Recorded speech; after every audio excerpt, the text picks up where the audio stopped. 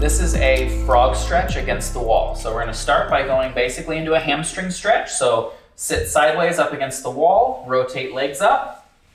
And now we're gonna use the wall to put our feet against. Bottoms of the feet are gonna come together, knees are gonna go wide, and you can apply gentle pressure to the knees to put those inner thighs on a stretch.